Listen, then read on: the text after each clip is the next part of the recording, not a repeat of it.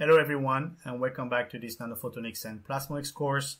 Uh, today's chapter 5 uh, which will cover quantum emitters. So uh, let's dive uh, into this, uh, this topic. Uh, so the first thing to notice is that due to the spatial confinement, various more systems such as molecules and quantum dots exhibit a very discrete resonant behavior where the resonances occur uh, only when there's an incident photon which matches the energy difference between consecutive electronic states. Those emitters uh, can be described using two-level systems uh, typically, uh, and uh, in this particular chapter, uh, we focus on the emitters themselves, noting that the previous chapter on optical interactions focused on the properties of the emitter and how they interacted with light.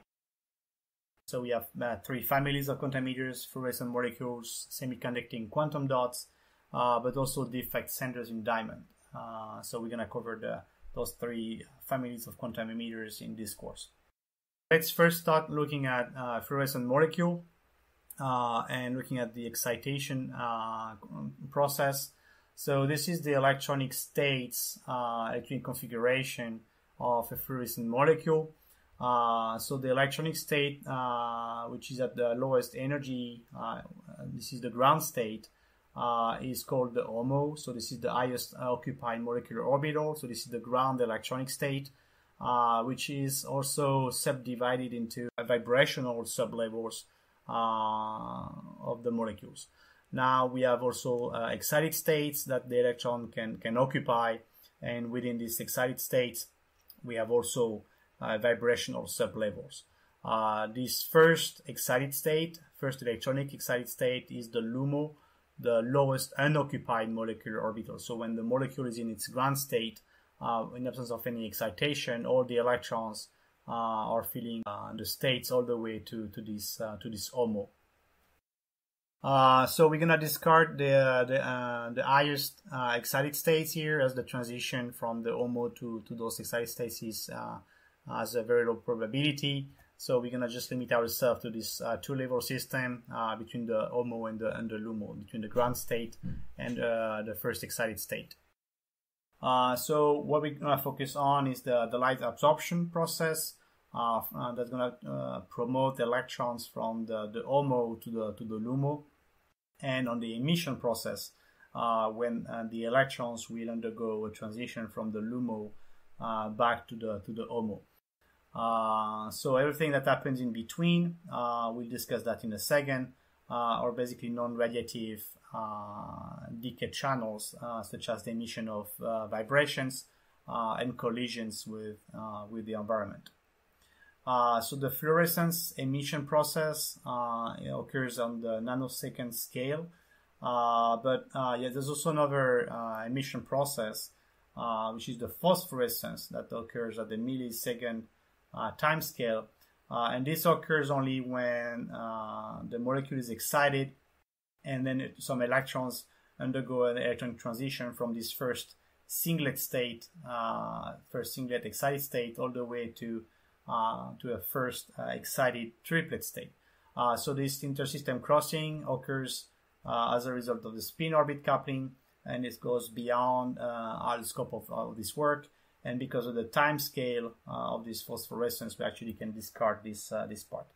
Uh, something which is important to notice is that as a result of transitions that can occur between the LUMO uh, and the different uh, vibrational sublevels, the emission uh, spectrum will be actually shifted as compared to the absorption spectrum, and this is what we call the sh- Stokes shift that we're going to discuss in a, in a minute. So uh, let's focus more on the on these uh, processes, the absorption and the emission processes. So every uh, excited state uh, will quickly quickly decay non-radiative uh, to the LUMO vibrational ground state. So if you start with uh, electrons in their ground electronic state and ground vibrational state, which is right here, then if you send energy excitation, then you can promote the electrons to very high uh, excited states, high electronic states like this S2 that we just discarded, or uh, toward this S1, the first excited electronic state, uh, that we will focus on. Now, within this first excited state, the electron can be promoted to any of these vibrational uh, sublevel. It will quickly decay and relax back to this vibrational ground state within the first uh, electronic excited state. So these uh, dashed arrows here represent those, transitions, uh, and these are non-radiative transitions. So the, there's no emission of light, uh, and the energy which is lost is basically um, converted into vibrations. Uh, once the, the electrons are on this ground vibrational state or the first excited state or the LUMO, uh, then those electrons will actually uh, relax back down to the ground electronic state or the HOMO in their uh, in their vibrational ground state. So these transitions uh, are basically generating the fluorescence signal. Uh, so something which is important to notice are the time scales. So the, the absorption part uh, occurs very rapidly. So uh, photons are absorbed on the femtosecond time scale. Uh, then the non-radiative uh, relaxations through vibrational uh, and internal conversions occurs on the picosecond time scale. the fluorescence itself, as I just mentioned, is a nanosecond time scale and the phosphorescence uh, process on the uh, millisecond timescale. So uh, these transition strength uh, from between the HOMO and the LUMO is given by uh, a dipole uh, operator within the dipole approximation. So if you remember what we discussed in chapter 4, we are dealing with very small objects. So the dipole approximation holds very well for those particular systems if you excite resonantly uh, those those molecules, you can actually preserve uh, the coherence uh, between the excitation field and the emitted field. Uh, and this can be uh, done only if the molecule is actually isolated from the environment. Uh, otherwise, if the molecule is not isolated from the environment, then you can have some environmental dephasing occurring as a result of collisions and phonon scattering. So these are just a few examples of emission spectra of different molecules.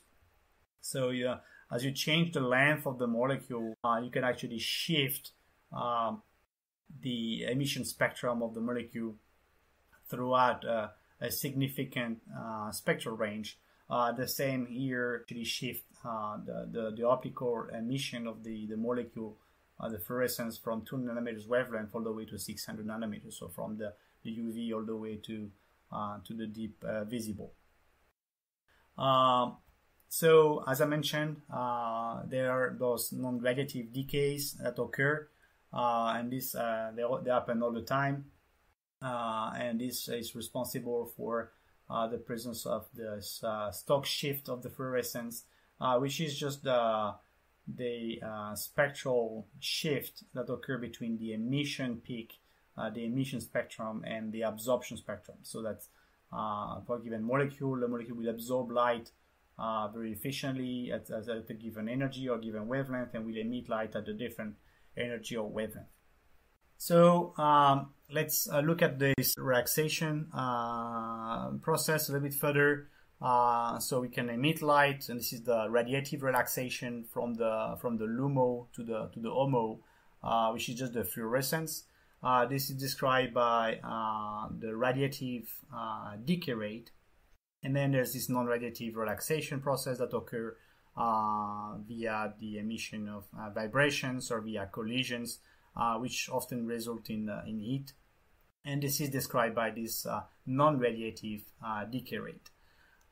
so we can introduce a very important property, which is the internal quantum yield Q uh, which is the ratio between the radiative decay rate versus the total uh, decay rate, both radiative and non-radiative. So this is looking at uh, how much of the, the optical excitation, which is absorbed by the molecule, uh, will actually being converted into radiations, into fluorescence.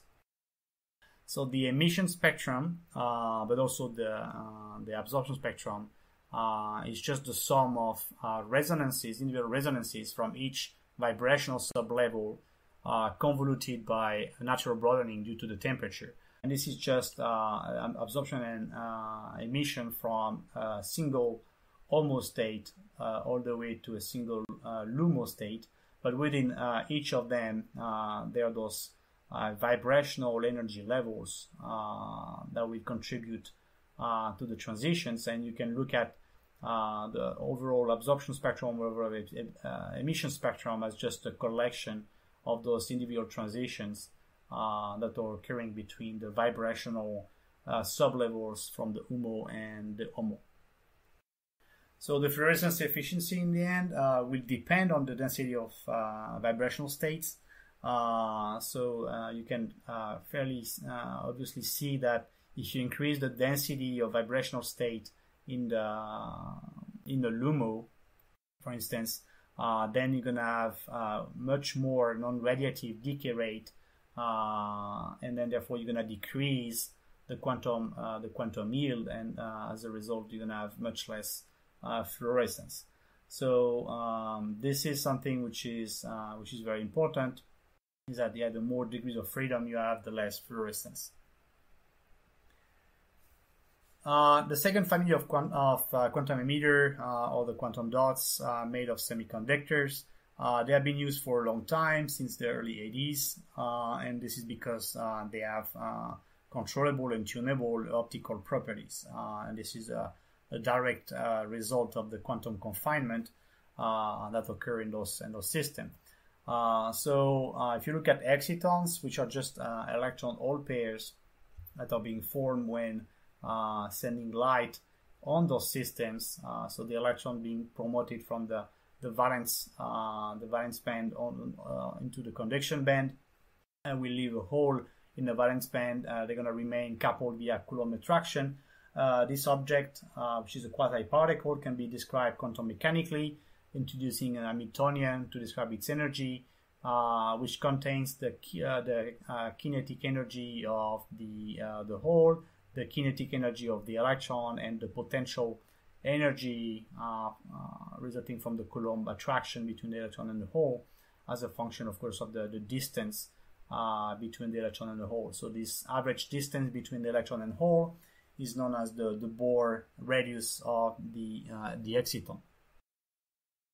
So uh, when uh, you're looking at small uh, quantum dots uh, that are typically the size of the uh, the Bohr radius of this exciton, uh, which is typically in the, in the range of 10 nanometers or, or below, then we have a, a quantum confinement, which is gonna force the exciton to squeeze. so the exciton will start filling the the outer surface of the quantum dot. And as a result, you can actually change the energy of the exciton. Uh, so if you start with a typical uh, picture of the band structure uh, of a, a, semiconductor, you have the, the valence uh, band at the bottom, you have the conduction band at the top. Uh, the separation energy between the two of them is you know, the, the gap energy. As you uh, you you decrease the size of the quantum dot, you're going to increase the gap between the the energy of the hole and the energy of the and the electron. So as a, as a direct consequence, uh, as you increase this uh, this transition uh, energy, you can therefore uh, allow the, the quantum dot to emit at different uh, different energies. It's going to result in different colors uh, for the light emission of those those quantum dots as you just change the size of the quantum dot. something which is very important to, to discuss is the absorption and emission spectra of those quantum dots. Uh, so uh, if you look at the absorption spectra of the quantum dots, uh, they exhibit a very strong absorption strength at high energy uh, or at low wavelength. Uh, and this is just the result of a high electronic state density in the conduction band. So as you go further in the conduction band, then you, you have a, an increase of number of electronic states that are available for the electron, uh, and that's going to result in this uh, strong absorption strength at high energy. Uh, so this is something very important and very useful because this allows actually to excite quantum dots of different sizes using a single a single wavelength. So even though you have quantum dots with different sizes, you can excite all of them with a UV excitation. So they're, they're going to absorb, all of them going to absorb this UV excitation. Uh, now, the excess of energy of uh, in, within each of these quantum dots will actually uh, relax uh, and be released via fast uh, non-radiative internal conversion, such as vibration and collisions, uh, very similarly to, to molecules. And uh, once the, the relaxed electron reaches the lowest excited state, it will actually undergo then recombination with the hole, and then that's going to be giving rise to emission of light at a very specific wavelength. So this is the, the, the emission spectra. Uh, so the emission spectra of those uh, different quantum dots with uh, sizes ranging from uh, 3 nanometers in diameter all the way to 6 nanometers in diameter. Uh, so you have one single excitation for all the quantum dot sizes, uh, and then you have specific emissions at different colors, different wavelengths based on the size of the quantum dot. Uh, something which is also worth mentioning is that the quantum dots uh, they show a very high potential for quantum information as they can serve as, as, as qubit. Um, so you can control those excitonic states uh, coherently using short pulse lasers. Uh, you can actually generate uh, biexcitons uh, in single quantum dots, and then you can basically use the state of those excitons to actually encode your, your qubit. So this is something which is shown here, where you have no exciton, one exciton on the second bit, second bit here, uh, one exciton on the first one, or basically two excitons at the same time. So uh, now let's move on to the last class of quantum emitter, uh, those fluorescent defect centers, uh, typically know, uh, wideband semiconductors. Uh, we're gonna just try to focus here on, on diamonds. So typically what, what happens is that if you have, for instance, a, a diamond uh, structure made of just uh, carbon atoms, uh, if you substitute uh, one of the carbon atom by an additional uh, element like boron, for instance, is going to leave a vacancy behind. And this boron vacancy uh, defect will actually trap electrons, and which basically will be able to to serve as fluorescent centers.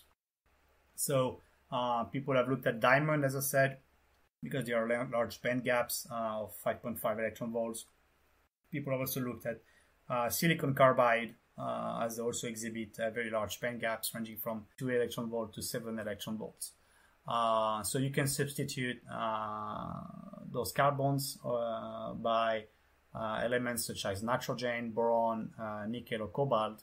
In fact, those defects exist naturally uh, there are over hundreds of them, uh, and in fact, they are responsible for the actual color of diamonds that you can find in nature. Uh, so, if you focus on the nitrogen vacancy, uh, the NV centers, uh, because they, they, contain two unbound electrons coming from the nitrogen uh, atom, then you can form two type of centers. You can form the NV negative center and the NV neutral centers. so, we're not going to discuss extensively what, what they are. I just want to mention that uh, those two centers fluoresce uh, at different wavelengths. So the NV neutral uh, center will fluoresce at about 600 nanometers wavelength, while the NV negative will fluoresce at higher wavelength at about 700 nanometers. Um, so this is something which is fixed; it cannot be tuned. Uh, however, we have those two states, and they fluoresce at a very specific uh, specific wavelength. So we have very very nice colors, and actually they can also uh, be controlled in terms of intensity. So uh, I will pass on quickly, but um, if you apply a microwave uh, signal onto the those those centers, uh, this will induce a spin transition uh, that will allow the electrons to actually take a different path for the for the decay uh, down to the ground state. so you're gonna actually favor non-radiative decay, or you're gonna favor radiative decay depending on the on the spin state you're uh, you're transitioning from, uh, and this can lead to uh, actually a 30% modulation of the the luminescence intensity. Since we are dealing with light absorption in those quantum emitters, we have to to to, quant- to quantize this light absorption, and it, this can be described using a frequency dependent optical cross section that we'll define in in a minute. Um, so for weak excitations, when the, the, the optical excitation intensity is uh, is fairly weak, uh, the absorbed power can be actually calculated and expressed as as, as follow, uh, where we have the imaginary part of the polarizability of the uh, either the molecule or the quantum dot, and we have the electric field uh, from the excitation, and the NP here is the unit vector aligned with uh, the dipole moment, uh, which is describing the, the molecule or the quantum dot. the absorption cross section can be calculated from there. so this is given for one given orientation for the dipole for one single molecule. Uh, now, if you have an ensemble of molecules that have uh, different orientations, the dipole moment will have different orientations. Uh, so you can average this over all the dipole orientations that you have and in order to calculate uh, the absorption cross section, which is just the, the averaged uh, absorbed power over the intensity of the, uh, the, uh, the, incident plane wave. Uh, it can also be calculated using the extinction coefficient uh, from the molecule, but this is just more as a, as a side note. So, what's the physical meaning of this cross section? Uh, so this is the definition that I really like, coming directly from the, the uh, principle of nano-optics uh, textbook. So the field of an incoming plane wave is actually modified by the field scattered off the molecule or the quantum dot, uh, being represented by the point dipole. Uh, the emitted dipole field uh, and the, excite- the excitation plane wave interfere between each others and give rise to the resulting energy flow which within an area defined by this uh, absorption cross section sigma is directed toward the dipole. So everything which is within this uh, region of space defined by sigma has an energy flow that uh, points toward the dipole, toward the molecule. So this is uh, something we're going to also discuss extensively when we're going to be talking about uh, plasmons. So Single molecules uh, can be used uh, for near field microscopy. They can serve as a local probe of the, the local electric field. Uh, and this is because they describe as point dipoles. So if you have if you have a molecule which is on the substrate, uh, if you approach a probe uh, that has a certain a certain electric field uh, coming from an optical excitation, this molecule, which is described as this point dipole, will actually interact with the field uh, and uh, modify its fluorescence. So if you actually uh, know the uh, fluorescence emission rate of the molecule, uh, you can actually uh, go back and you have a direct measurement of the projected field strength from the field which is interacting with this with this molecule. So this is something which is very important. this can be can be used in many applications. Uh, these are just a few examples uh, about uh, fluorescence imaging. so you have calculated fluorescence rate patterns here for different more simple molecules with different orientations. So we have here a molecule which is actually pointing uh, in uh, in the out of plane direction. Uh, here we have a molecule which is actually in plane, and those two molecules actually with orientation that are taken in between. these are measured uh, fluorescence uh, patterns uh, from different randomly oriented molecules and based on based on the, the pattern you have here you can go back and, and relate to the actual orientation of the of the of the molecules so you can identify the orientation of the molecule based on its fluorescence pattern uh, and how it interacts with the, um, the optical field. Uh, these are just uh, final examples I wanted to show uh, where you, uh, you, you, you, can actually have an, uh, ensembles of molecules that are dispersed on the substrate. Uh, you can write with a sharp metallic tip, which plays the role of, of, of a dipole, an dipole that will interact also with the dipoles of the molecules. So we, we, we talked about dipole-dipole interaction in chapter 4.